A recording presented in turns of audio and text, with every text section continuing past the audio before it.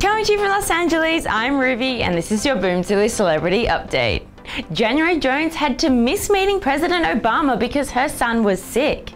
The Mad Men actress admits juggling her personal and professional life is a challenge, and she is ready to make the sacrifices when she needs to. Joan Rivers kept a list of people who she wanted to die in a plane crash. The comedian who passed away last summer kept a fake flight manifest, which she called Death Flight 5000, which included several people she hoped would be killed in a fantasy air traffic accident, according to daughter Melissa Rivers. French Montana thinks Khloe Kardashian is a beautiful person.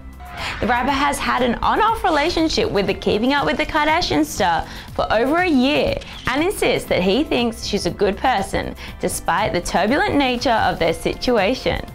In March, the pair sparked rumours that they were seeing each other again when they were spotted enjoying a holiday in Miami together. To see your photos and videos featured on Boom Zulu, upload them via boomzulu.com or via the Boom Zulu app. I'm Ruby, and for the most up to date celebrity news, check out boomzulu.com.